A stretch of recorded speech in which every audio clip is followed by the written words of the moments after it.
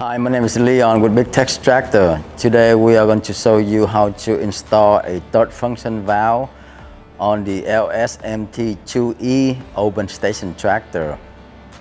We have been using these valves for the past 10 years since we were with Branson, TYM, and now with LS tractors.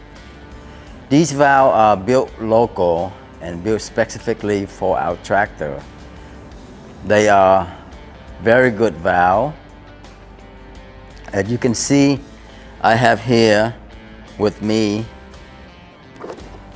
the handle, uh, one piece of aluminum and the white kit.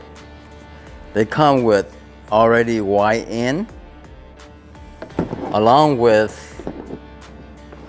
the third function valve, the solenoid, and the custom bracket, and the hose kit. We already installed this so that we can show you, but when you come with, when you buy with the kit, some of the fitting already installed for you.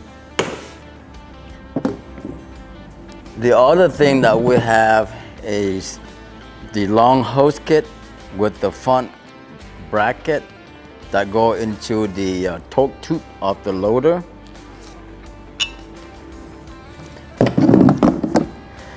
All right, talk no more, let's get to it.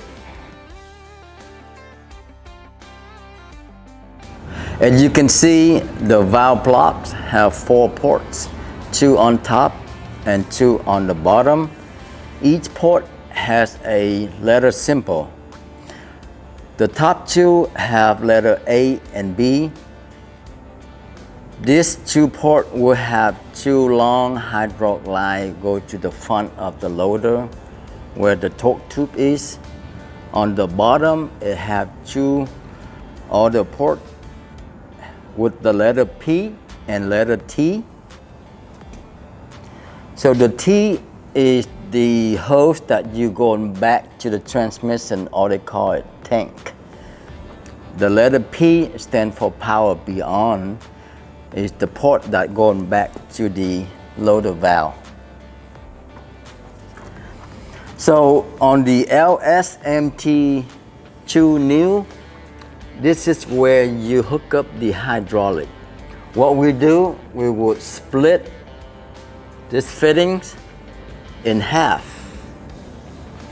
This line going back is the letter T and the other half going back to the vowel is for letter P.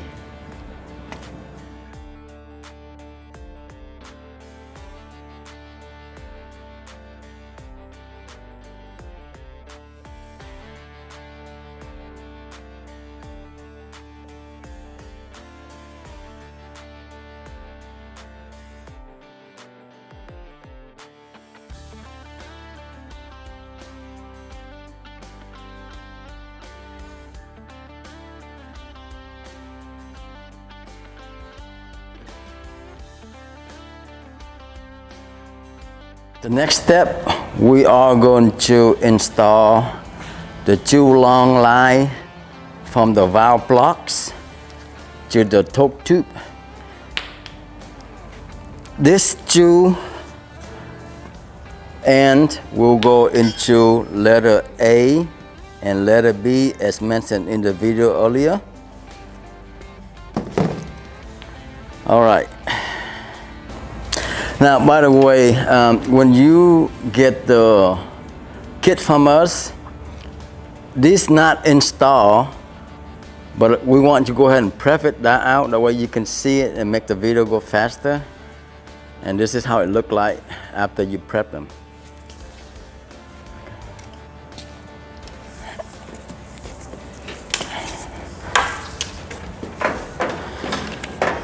So letter A and B, you cannot mix them because the way we have it done here. So all you have to do is press down.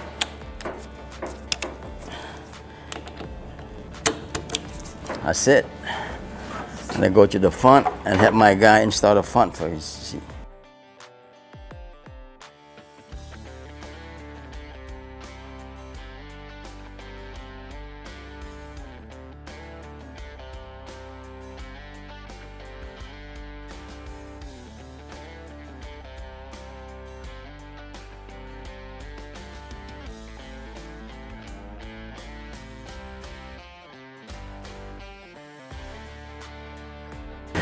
The next step, we are going to install a joystick and the wire harness. They come like this, pre-wire and ready to install. What we have here is we already installed on it for you to see. What you have to do is remove the factory knob and install the third function valve joysticks. When you install them, they go in like this. On the back side, it has two locking screw. So you would use the Allen key and tighten it up and it will stay locked.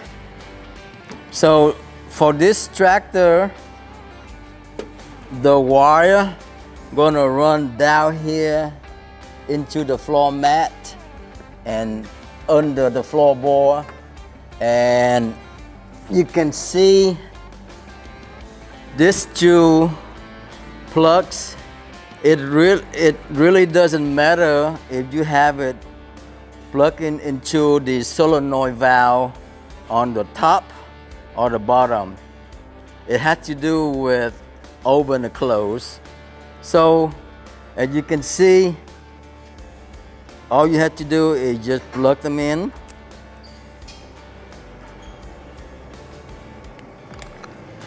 And that's it. Or you can flip them.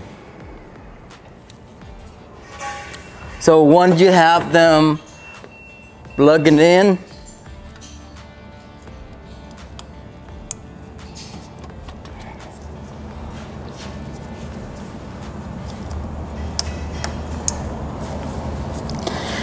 And the next step, you would basically run the rest of it to the battery.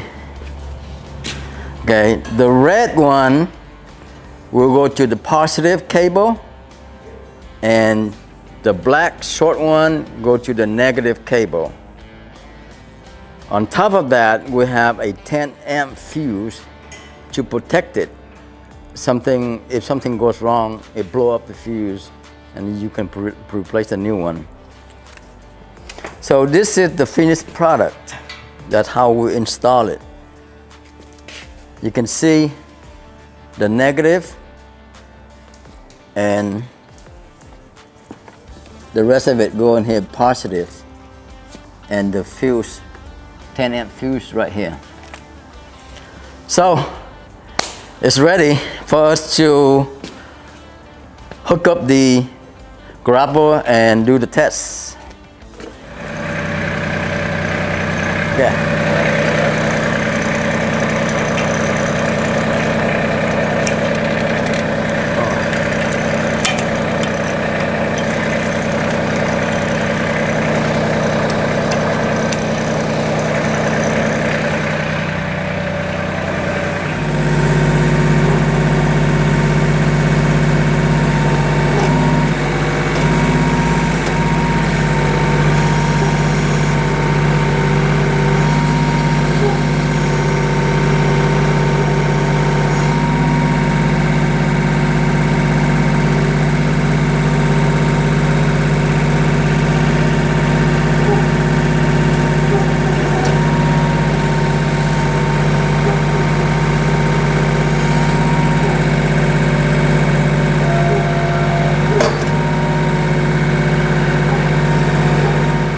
There you go.